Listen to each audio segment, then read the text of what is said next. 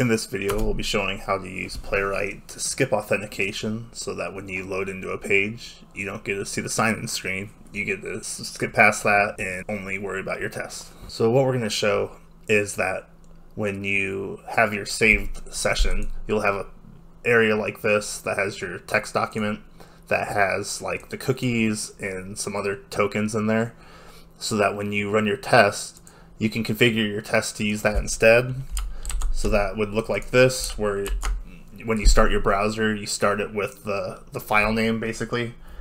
And that lets you use that storage state, which is the authentication state um, that's stored on your drive in that file. What this will let you do is when you run that same test again, you'll see this time it's going to come into your logged in page that rather than that login page.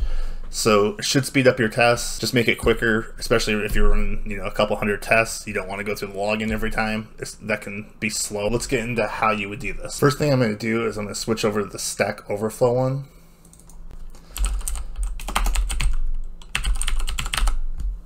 And we're going to go back over to our tests, and I'm going to switch away from this Netflix example and go to the Stack Overflow example I have for you. So what this one's going to do is go into Stack Overflow and try to click on my profile. If I run it right now, it's going to fail because it's not actually logged in. The the actual authentication I have in that file is um, invalid, so it's not logging in for us. So let's see how we can fix that. So the command here that we're going to run is playwright open save storage stack overflow.json. So when I run that, the playwright tool is going to open it's just going to go to a blank page. It doesn't really matter. You can navigate to whichever page you want here, and it's just going to it's just going to keep track of whatever whatever pages you go to, whatever you log into. So if I go here, if I log in, okay, so that got me logged in, and you can see here I'm logged in because it shows like my account and everything. So we're just going to close this. So when I when I closed that, what it did was it actually saved this here and it has the cookies and some of this these file settings actually stored for me already.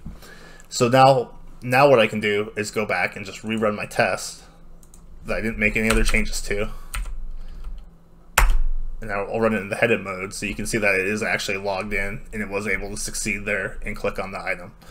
So all you need to do is go save it once and depending on how your page is set up, it will work for a long time. I, I saved that Netflix one off, I think, over two weeks ago, and it's still working.